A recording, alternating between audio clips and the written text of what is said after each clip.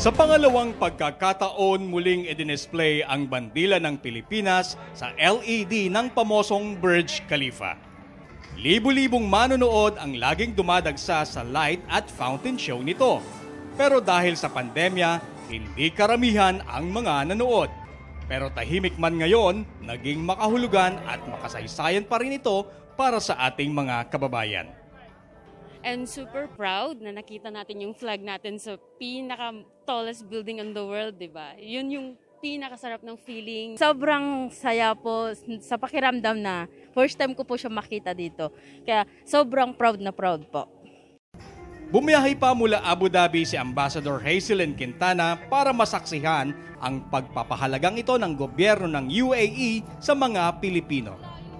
Muli, nagpapasalamat kami sa United Arab Emirates, sa EMAR, sa Burj Khalifa, sa uh, pagpupugay na ginawa nila sa mga Pilipino dito sa United Arab Emirates.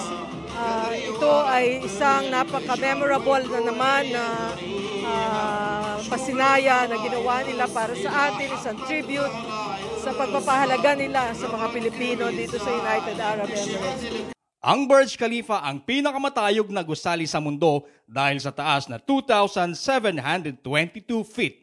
Isa ito sa pangunahing tourist attraction sa Dubai. Tila kasing tayo din ng Burj Khalifa ang parangal na ginawad sa anim na bagong dakilang bayani sa Dubai. Ang Dakilang Bayani Awards ay ang pinakamataas na parangal na iginagawad sa isang OFW ng Philippine Consulate sa Dubai at sa Northern Emirates.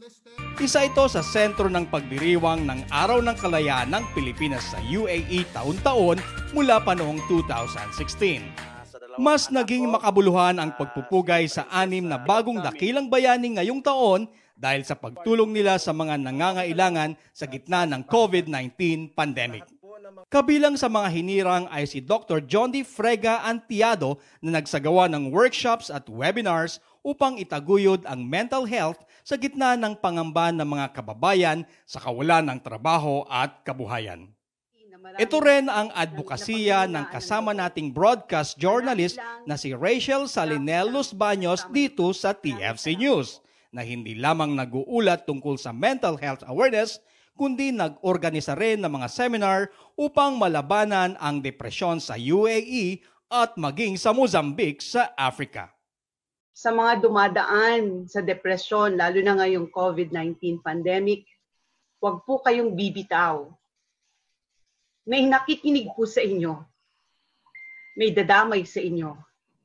Manalig lang sa Panginoon, may kasama kayo. At kung kailangan nyo ng kausap, lalo na ngayon, pwede nyo pong i-access ang FB site ng Ugat Sandaline. I share this recognition to my group, the Psychological Society of the Philippines UAE Chapter. Para sa bayan, Pilipinas, mabuhay mabuhay ka. Kinilala rin si King Chopazar Belimac, chairman ng OFW Helpline Global sa pagtulong niya sa mga Pilipinong apektado ng pandemya. Gayon din si Arnel Fernandez na aktibo sa pagkakaisa ng mga Pinoy sa pamamagitan ng basketball tournament sa Dubai, bukod pa sa araw-araw na pamamahagi ng relief goods sa kasagsagan ng pandemya. At si Zoren Yutok Iko, presidente ng Filipino Club Ajman at operations head ng mga volunteers na namibigay ng ayuda sa Ajman. Pinarangalan din si Christopher Mares na inatasan ng UAE Food Bank para mamahagi ng 10 million meals campaign sa mga kababayan sa Emirates. Ang pamimigay ng libreng pagkain ang pinagkakaabalahan din ng isa pang mapagmalasakit nating kababayan dito sa Dubai kahit pa siya mismo ay walang regular na trabaho. Hindi naging hadlang kay Feby de la Peña ang kawalan ng permanenteng hanap buhay sa loob ng tatlong taon para tumulong sa pamimigay ng libreng pagkain. Katakam-takam na adobong manok, crispy lechon belly, stir-fried chicken at iba pang mga lutong Pinoy na siya mismo ang nagluluto. Araw-araw niya itong ginagawa katulong ng kanyang pamilya at flatmates, umabot sa dalawang daan hanggang isang libong food packs ang kanilang ipinamamahagi. Of course, hindi ko kaya i-sustain yung ganong kalaking amount para dito sa project na to.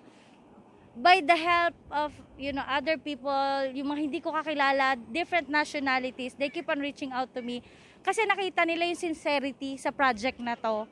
So, sobra silang nagpapaabot ng tulong sa akin. Bigas, manok, eggs, Sa kalagitnaan ng pamimigay ng mga pagkain sa Murakabat at Satwa kung saan marami sa ating mga kabayan ang naninirahan, isang taxi driver ang nagabot pa ng limang kilong jasmine rice.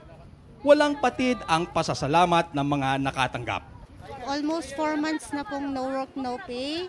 Ah, stay at home lang po kami at saka umaasa lang po kami sa mga ganito, relief goods o kaya po sa namimigay ng food. Kaya thank you po kay Ate Feby ah, sa buong family nila at saka po sa friends nila na namimigay po every day. Maraming maraming salamat po kay Ate Feby na tumutulong sa ganito. Sana po marami pang katulad niya na ganito na tumutulong sa no work, no pay. napakabuti. Kaya maganda. Alam mo, God is great. Alam niyo po, napakabuti. At ah, araw-araw po ito na nagbibigay ng pagkain sa mga tao. Tulad ni Feby at ilan nating mga kababayan, ang pagiging matulungin sa kapwa ay sadyang likas na sa ating mga Pilipino. May pandemya man o wala, buhay na buhay ang diwa ng pagtutulungan. Kasama si Melanie Regalado, Randy Lamsen, PFC News, Dubai.